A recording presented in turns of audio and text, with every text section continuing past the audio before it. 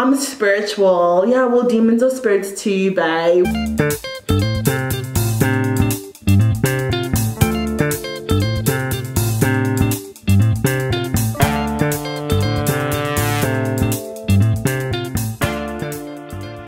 Hi guys, welcome back to my channel if you haven't subscribed yet then make sure that you click the subscribe button below and join the revolution so in today's video i'm going to be sharing some of the lessons that i have learned in nollywood movies so a little bit of a backstory whenever i'm busy at school in america i'm always like oh my gosh guys i wish i had just time off time to breathe so i could just watch nollywood movies in peace and enjoy myself because it connects me to my childhood we would always watch it with my mom and stuff. And you know those movies are like four hours long, part one, part two, four hours each, you know? So since I've been back in SA, I've actually been able, I actually made a conscious effort to and have been able to watch some Nollywood movies. So for those of you who don't know, if you want to watch Nollywood movies, guys, YouTube is the plug. Literally just type in Nollywood movies or you can type in, you know, Van Vicker. By the way, as a South African, I'm naturally inclined to say fun Vicar or Van Vicker, you know, but I think it's Van Vicker. But type in Van Vicker movies or any Edo movies or whatever, and basically like oh everything pops up or patience movies and there's just this whole huge selection. The downside is that there might be ads depending on which page you use. Um, another downside might be quality another downside might be sound depending on the ones you get. But for me the ones i've been watching though have been pretty good. Sometimes the volume was a bit low but pretty good. The first lesson I'm gonna be talking about today is before you marry someone, babe, please go and confirm, go and check that his mom or her mom, your mother-in-law, does not turn into a chicken, a cat, a snake at night. Wait, what? Jokes aside the real lesson that i learned from this apart from actually like for real like you know check before you marry someone or you get into a deeply committed relationship especially as someone who is christian or if you have a religion that you follow and especially as someone who wants to be with someone who also follows that religion. So i'm christian i believe in jesus and i would definitely love to be with someone who also believes in jesus.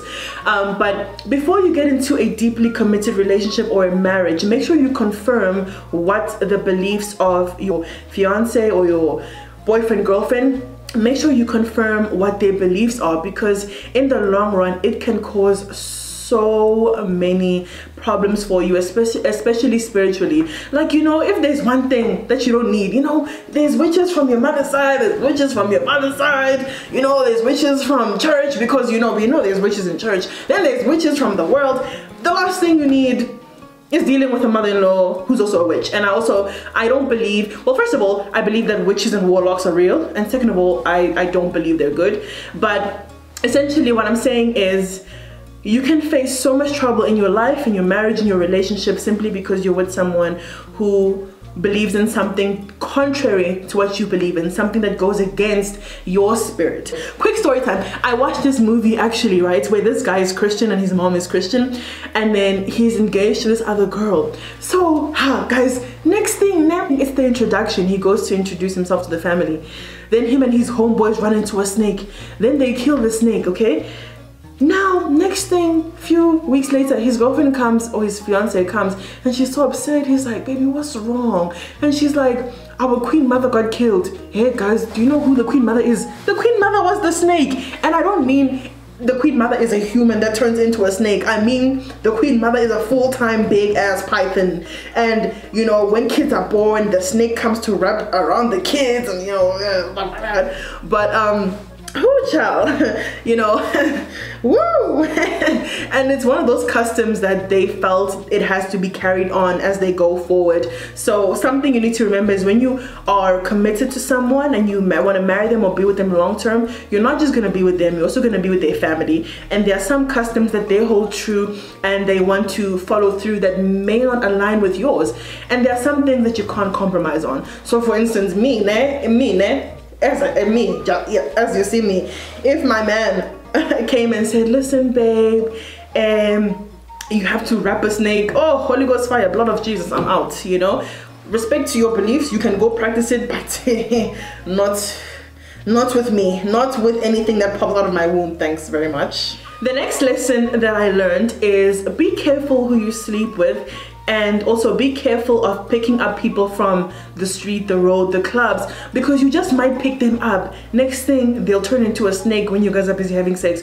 Hey! Look, look, look, look, look at this. Somebody come look at this. Or post sex, you'll wake up and there's a snake. Or you'll go, to, or they'll go to the bathroom. When you go look for them, honey, honey, you see they've turned into a snake. Somebody come and look at this. Have you guys heard those stories in real life? I'm not gonna lie, I've actually heard about that story twice. I've heard about that story twice. So the first one I heard was about in, in Limpopo actually where a lady uh, was picked up by a random man who was rich and he took care of her.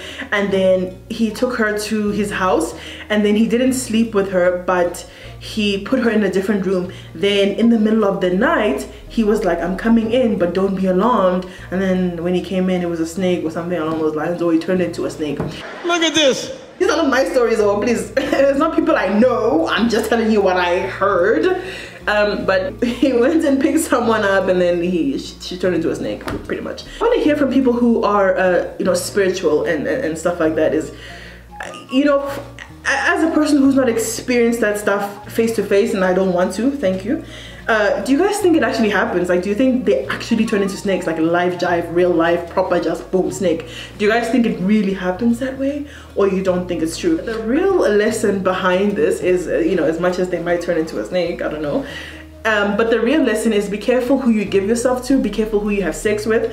Besides pregnancy, sex is the only way for two humans to really be inside of each other and be connected like that. Sex is a physical thing, it's a spiritual thing, and soul ties are real. I'm not going to go into too much detail about this. If you want to know more, go check out this video that I did about everything you need to know about I guess celibacy, but also touching on sex and soul ties. So many testimonies at my church and some videos that I've watched online, which maybe you must say with a pinch of salt but i've heard so many testimonies of women who actually say and men alike of women and men who actually say i sleep with people and after i sleep with them nothing works out for them anymore. They lose their job they lose their money.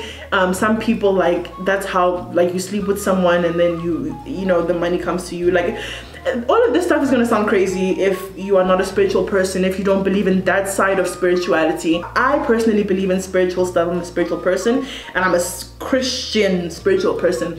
One thing about spirituality, guys, there's two sides of the coin of spirituality. Holy spirit, evil spirit, good spirits, bad spirits. Be wary of people who are like, oh no, you know, I'm spiritual. Yeah, well, demons are spirits too, babe. Now, taking a break from snakes and stuff, the next point is, and this is something that I learned recently, or that I a movie made me realize recently, but people can find God through your charity. As Christians, we are always instructed to give and we are promised that God will give back to us, you know, pressed down, shaken together. And that, that is true, but giving is not just about giving a person money or food and, and you're doing a good task or good deed by giving them food. But by you giving, especially when you give and you talk about God, you know, or you're like, just eh, eh, talk to the person and and you're open about your faith and and some people like I know there have been times for me where I've given and it was God who put it in my heart to like give to this person or give to this foundation. And if I give to a person, then I have the opportunity to like be like, you know what, God told me that I should do this. But people find God through your charity because your act of giving is like an extension of God, God's hand. God is giving with your hand you know people have foul perceptions of christians that they're you know they're just not great things or great people whatever. But the essence of christianity is love. And to give is to love you know. I feel like it's one way to show love. And people should see love through you. When they encounter you they should feel and see love. You know if you give someone food and you talk about god or you give them whatever and and you, you share your faith with them it it shows them that oh these are god's people this is what God is about. This God has provided for me. you know? Because the thing is when you give to someone you think it's just you and just your hand but god is using you. And you find that that person might have been making a prayer saying god i don't know what i'm going to eat tonight. And there you come along giving them food. And so they see god through you. They see god's hand through your charity. Your charity or your giving can make someone believe in a god they never believed in because help never came from anywhere else up until now where you were led by God to give. Giving, I feel, can be a form of evangelism. Take this as a reminder today for you to give, whether it's your time, money, food, clothing, but you know, give. Give in the name of God, guys, because someone is waiting to discover Christ through what you have to give. The next lesson that I learned is those of you who got asked out by that village baby, you know what I'm saying? Like that village girl that looks like her life is going nowhere and like ah nothing is going on. And you say no because me I don't want to be with villagers please. I'm from the city. I want a city man. Eh my friend better go out on a date with that girl now. Pella maybe her destiny is to be like the richest woman in the world you know but right now it's just the the trial stage the testing stage. Bruh before she gets to the rich stage. Um, but jokes aside, I'm not telling you to go out with anyone just because, uh, you know, yeah, uh, I, make joke, I'm joking. But the lesson that I learned from this is do not look down on people because of their position in society or because they are down in the current moment because guys yo things turn around in this life. I've seen it in my personal life, I've seen it in the lives of those around me. Someone who was once your boss can become your employee. Someone who was once your employee becomes your boss. Things turn around, guys, and you should not treat people badly because they don't have money, they don't have as much as you, because money does not define a person's worth. Money is not your worth. And if money is worth, if that's you right now, then how much are you worth based on your bank account right now? Should we respect you based on your account balance right now? Right now. Should we respect you? Uh, uh, damn. Hell, uh. I was watching a TD Jakes sermon where he was like, God analyzes you when you are in your period of advantage. Meaning, when you are in a position of advantage, what do you do? And I don't mean power or being rich, I mean just advantage. When you have advantage, how do you behave? How do you treat people? Do you give back? And if God cannot trust you in your period of advantage, He cannot trust you with power. Hence, that verse also you ask and do not receive because you ask amiss. Some of you want to be rich not because you want to give back, you want to help people, but because you just want to be rich. Because you want the money, the cars, the hoes, and the clothes. Like that's, that's, that's all you want. Just vibes. No charity in sight, just vibes. The next point I want to talk about is your elders are not automatically correct because they're your elders. They don't automatically know better because they're your elders. How many of you right now have been in positions where you are educating your parents, your all-knowing parents? And that's the thing. I think that's something that's wrong with African culture is we give this all-knowing uh, credit to elders and elders themselves demand this all-knowing respect and uh, and all-knowing credit acting as if they know everything. Things like you never say an old person is lying but you are. You are lying. You're not always right. You don't know everything. And you need to be called out. You need to be corrected. Guys uh, something i've seen in nigerian movies is you know you'll have elders who want to force you into these arranged marriages that are not good for you in the end or they want you to cuddle with snakes you know and you do it because they're your elders and they know better. There come a time where you as a young person have to make your stand you know? If right now if you are christian and you don't believe in cuddling with snakes which i do not and your uncle, your mom, or whoever tells you to come and cuddle with a snake, you have to be able to think for yourself, to know for yourself, and say, No, I'm not going to do that because you will suffer the, the repercussions or the consequences of busy cuddling with demonic snakes. Older people are not always right and they can lead you astray. It is so important for you to learn how to think for yourself and to learn how to find your voice. And when you do speak to older people, and you want to correct them or say, I don't want to be a part of that. Learn how to deliver your message as well. You know, you're not going to go there and be like, well, I know better than you. This is why your husband left you. Ah! Shut up, that's an insult. The last point that I'm going to be talking about, okay, which might be also one of the important ones, guys, eh, please oh, wake up in the middle of the night eh, and check that your husband is there in your bed. Do you hear me? Check he's there in your bed and that he's not gone to meet up with his occultic homies so he can sacrifice you for wealth and riches. And I, oh, Are you normal? The real lesson behind this is actually young women, especially, do not be carried away by rich men and their money. Yo, SA hands, SA hands, SA hands, and all hands, generally speaking. Bruh.